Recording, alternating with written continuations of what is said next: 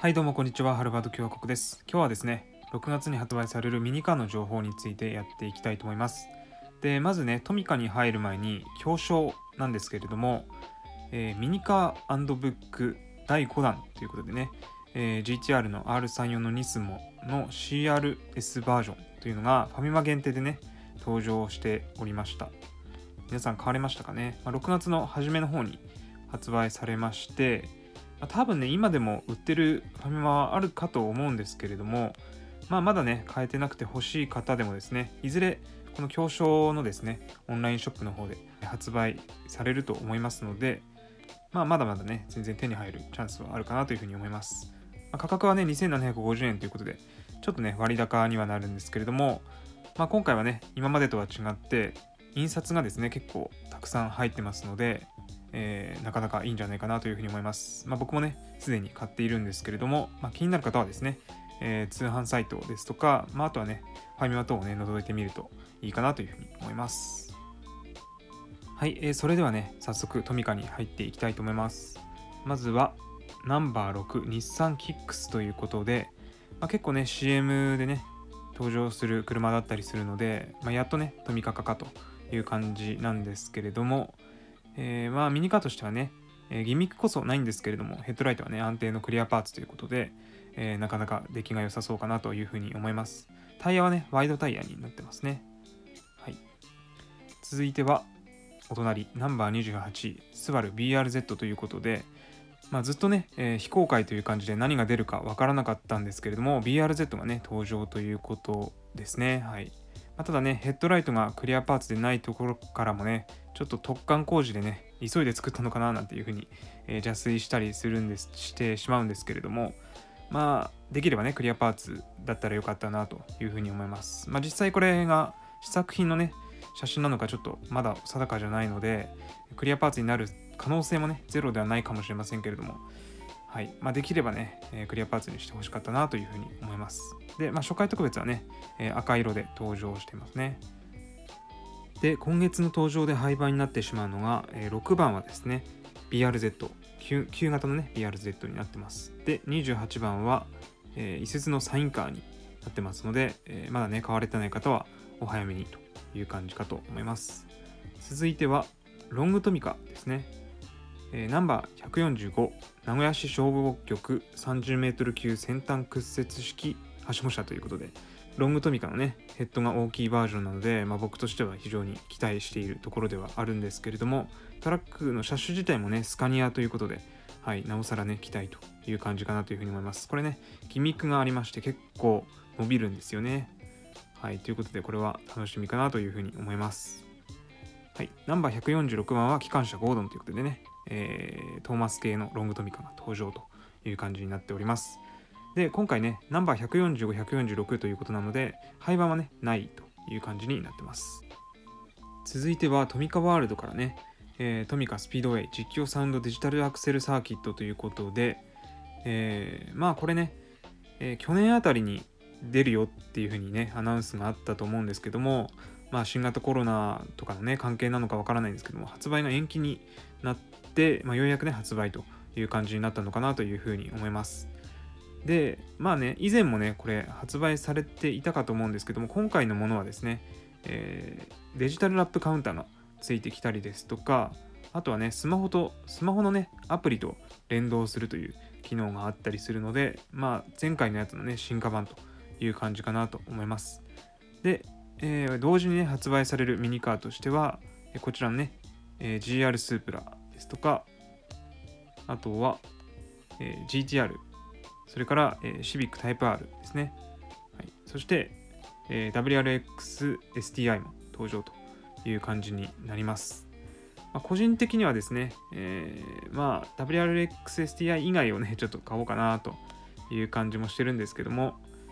はい。まあ今のね、アースグランナーが、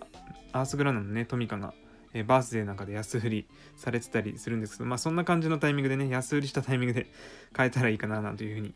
えー、考えていたりします。まあ、こちらね、かなりちょっとね、値段高いですし、まあ、前回のね、ものも、えー、僕自身買っているので、まあ、今回ね、買うかどうかちょっと悩んでるところではあるんですけれども、えー、ま、なかなかね、楽しい遊び方ができるかなと思いますね。まあ、ホットウィールのね、え、ID なんかも、え、あったりするんですけども、まあ、トミカ版の ID みたいなね、感じで、ま、こちらは実際にね、走らせて、えー、スマホと連動して遊べるという感じになってますので、えー、まあ、なかなか面白いなというふうに思って、ちょっとね、買うかどうか悩んでるところですね。はい、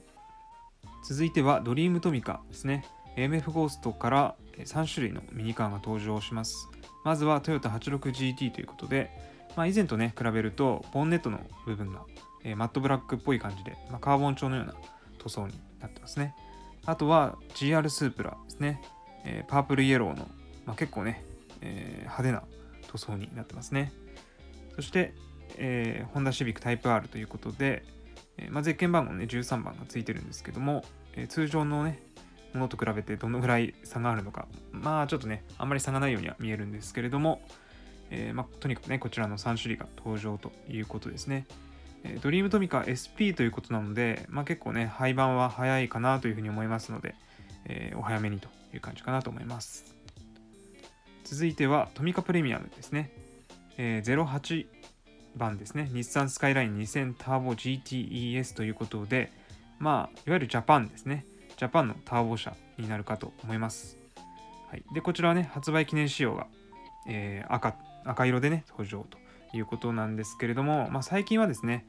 えー、まあ、発売記念仕様、トミカプレミアムのね、発売記念仕様は結構在庫が豊富にあって、まあ、そんなにね、えー、すぐに売り切れるという感じではないかなというふうに思いますので、えー、まあ、十分ね、発売日に行けば買えるんじゃないかなというふうに思います。まあ、なかなかね、気になるえ、車種、まあ、それこそ箱スカも出たり、まあ、あとはね、ケンメリも出ますよね。そのあたりの、ね、年代の人を、ねえ、ターゲットにしてる感じがして、はい、なかなか勢いがあるなというふうに思います。で、08番なんですけれども、えー、シルビアがね、絶版になってしまうということなので、えそちらね、買われてない方は、えお早めに、え購入した方がいいかと思います。続いてはトミカその他ですね。えー、ランボルギーニ・ユラカンペルフォルマンテトミカ50周年記念仕様デザインドバイオートモービルランボルギーニということで、まあ、50周年記念仕様のねトミカは、えー、ホンダ、トヨタ、日産の方でね日本のメーカーで、えー、3種類出てたかと思うんですけども今回はね初めて海外ランボルギーニということで、えーまあ、日本国旗っぽいね、えー、それをモチーフにしたようなデザインが施されているので、まあ、かなりね特別感があっていい感じなんじゃないかなというふうに思います。まあ、パッケージはね、えー、それこそ50周年記念仕様らしい、あのね、えー、四角い感じのパッケージになってるかなというふうに思いますので、えー、まあ、ぜひね、えゲットしていきたいなというふうに思います。まあ、2個ぐらいね、もしかしたら買うかもしれないですね。ラストは販売店オリジナルトミカですね。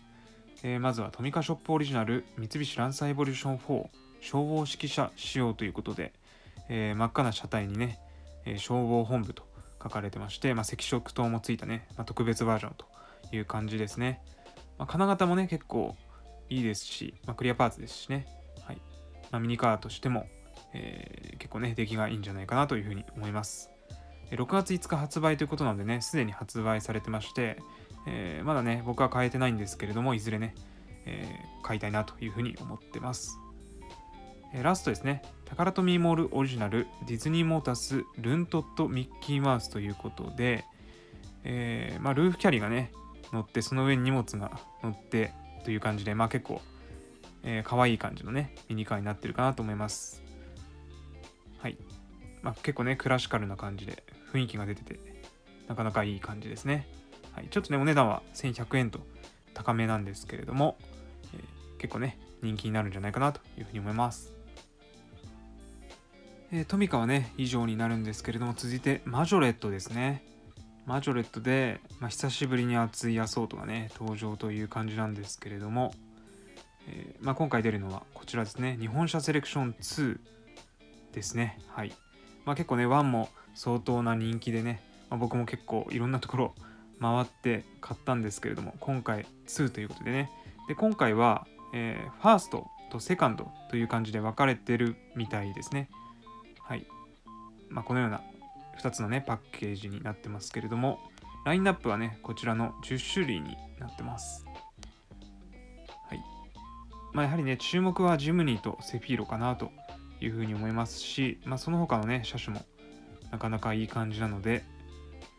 なんとか頑張って買いたいなというふうに思いますでまあ一応ですね発売は6月とはなってるんですけれども、まあ、本当にスーパーの店舗ごとにですね仕入れの時期っていうのは変わってくるかと思いますので、まあ、今後ね何ヶ月間にかにね渡って、えー、発売されていくかと思いますので、えー、順次ね、えー、スーパーの方を覗いてみてはいかがでしょうかという感じですね。はい、で8月になると、えセカンドが登場ということなので、まあ、こちらもねかなり楽しみかなというふうに思います。で最後ですねガチャになるんですけどもプラッツの方から、えー、スカイライン 2000GTR 日産コレクションということで、まあ、箱スカン GTR がね登場という感じになりますね、まあ、プラッツもかなり精力的にガチャを出しているなという印象なんですけれどもこちらはですね今月発売ということなので、えー、順次ねガチャガチャの方に入ってくるかと思いますので気になる方は覗いてみてはいかがでしょうかはいということで、えー、トミカを中心にですね今月のマジョレットですとかガチャですとかね発売のミニカーを見てきたわけなんですけれども、えー、まあ、今月もですね結構暑い感じになってるかなというふうに思います。まあ、来月以降ですね、まあ、夏、えー、ま夏休みという感じで、えまメーカーとしてもね気合が入る時期だと思うんですけども、えそれらのね前哨戦という感じで、はいまなかなか暑いかなというふうに思いますのでなんとかね、え頑張って買っていきたいなというふうに思っております。はい、ということでね、今月も以上になります。チャンネル登録や高評価等よろしくお願いいたします。ではまた。